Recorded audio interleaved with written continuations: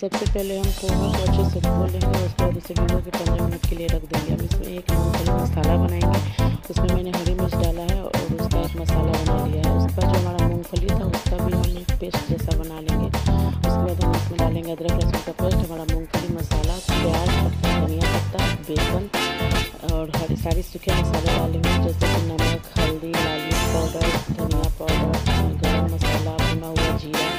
सबको डाल के इसको अच्छे से मिक्स कर लेंगे।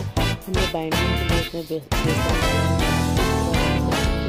बेसन अच्छे से और इस पैन में थोड़ा सा तेल लेंगे और इसे शेलो फ्राई कर लेंगे जब तक कि गोल्डन ब्राउन नहीं हो जाता है।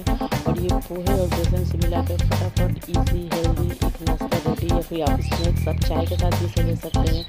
और आप इसे इंजॉय कीजिए और बताइए कि आपको कैसा लगा। मुझे तो बहुत ही ज़्यादा पसंद आया। मैंने टेस्ट किया और बहुत ज़्यादा